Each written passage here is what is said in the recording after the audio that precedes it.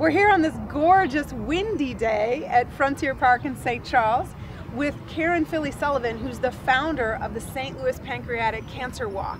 Hi, Karen. Hi, Aprille. Now, this walk has become a, a, very large, substantial event in the community, so tell us all about it. It started three years ago. I wanted to do something in memory of my dad. He passed away in 2009.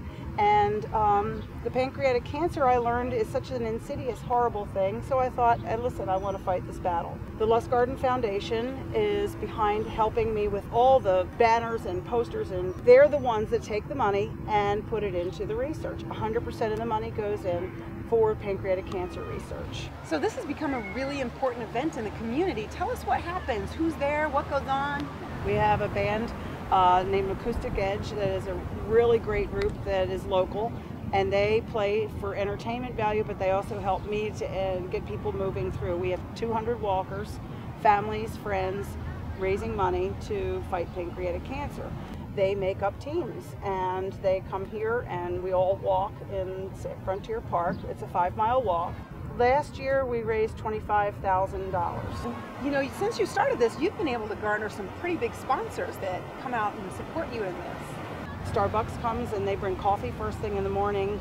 We have uh, Chobani yogurt, Clif bars. You know, they send me several hundred Clif bars for the folks to have. We have a couple restaurants in town that donate fruit. Well, now you told us, Karen, that you started this whole thing because you lost your own father to pancreatic cancer. How is the money used that you guys collect?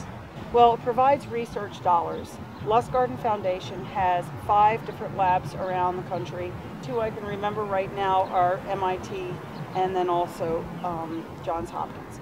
And they're looking for not only a cure, but early detection. So now Karen, tell us, when is the event and how can people help? Well, it's on the Katy Trail and it's in September on the 8th.